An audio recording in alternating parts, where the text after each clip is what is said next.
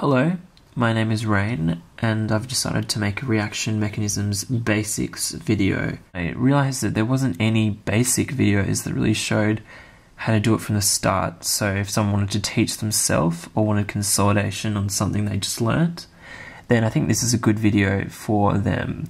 So basically, I'll try and be as neat as possible when I'm writing on the screen. Forgive me if I'm a bit messy. I'll just show what the arrows mean, what electrophiles and nucleophiles are and examples of alkenes because they're the most basics. Okay, so let's start from the very basics. We have two molecules. This is just a little demonstration of what the arrows mean. We have A and B, which could be hydrogen and chloride or anything sort of that just forms a single covalent bond. This is just an example of that. So we have A and B. And so these two are formed, two electrons shared between them to form a single bond. Okay, so if we wanted to say that one electron moved, one electron's moving to this, we do a single-headed arrow, which basically means one electron is moving in the direction of the arrow. The arrow shows the flow of electrons, where two headed arrow is two electrons and one is a single atom moving. I mean, single electron moving. Basically, this here will form the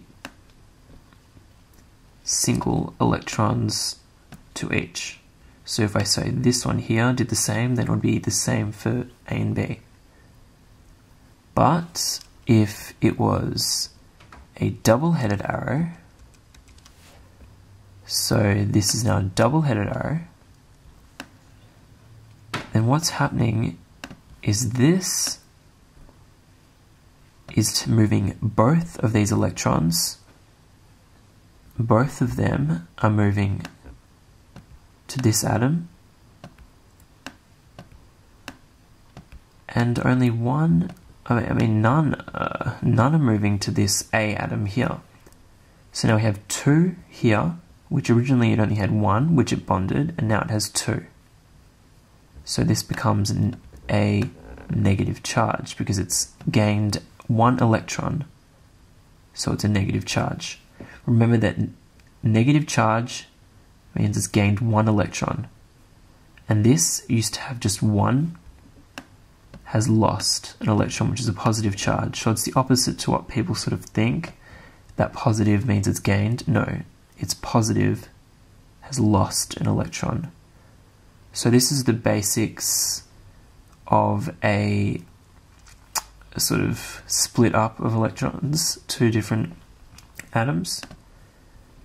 But now if we want to look at these, and if these were forming to one another, then we would know that this here is electron rich. So this is electron rich here.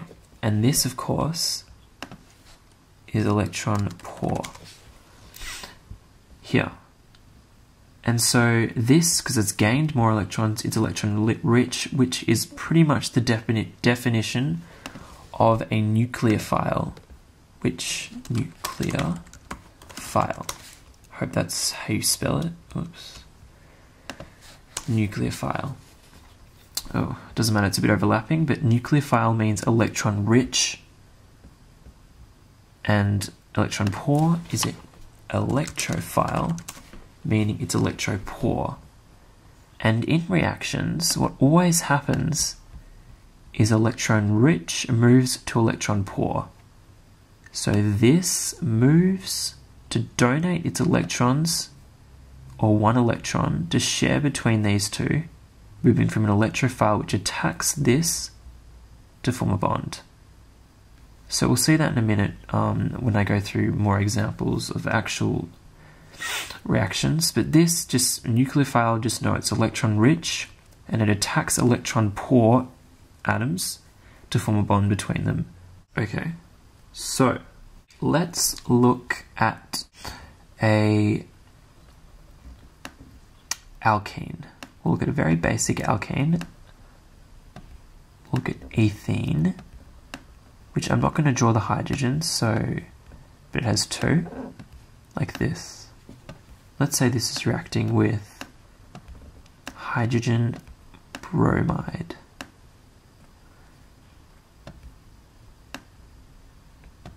These two are reacting. So, from what we know here, this bond has more electrons. It's electron rich. So this here, this bond here, is a nucleophile. It's going to donate electrons to this here, which is a electrophile, because it always moves from a nucleophile to electrophile. So how we represent this with a red color, this one electrons move to this here, this electrophile, this breaks and moves to the electrophile, which is an addition reaction because it's adding a molecule to a double bond to form a single product. And now, if this is going to react with this hydrogen, what happens to this Br here is this bond breaks. So these electrons will move, as seen here, to the bromide. So these both move because there's two. And this bond breaks and forms what is seen here next. This first step, which is a carbocation, which is basically the intermediate carbocation or intermediate reaction where this C here has broken its bonds double bond here to form a bond with hydrogen. So this here, this moves and breaks open to form a bond with hydrogen. So there's three hydrogens here. And there's still two here. But there wasn't another hydrogen here. And since, because of the octet rule, this needs to have eight around the carbon. Two, four, six, eight. Or two, four, 6, 8. This is 8. This is 6 because it's lost a bond. So as I said here, if it has lost electrons, that means it becomes negative, I mean positively charged. Here. And this bromine, which both these electrons went to, so it has two electrons, has gained an electron, so it's pos it's negative, sorry. This is the carbocation. And what happens is, since we know that a nucleophile attacks an electrophile, electron rich, this has extra electrons, this has little electrons, it is electron poor. These electrons will move directly to this and form the covalent bond between the carbon and bromide as this donates electrons and this receives to form a bond. So this nucleophile is donating electrons to the electrophile to form the bond, basically. And so this forms the final product,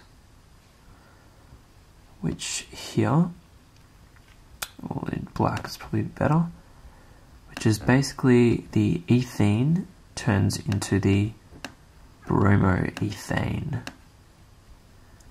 This bond is formed and there are no charges because all are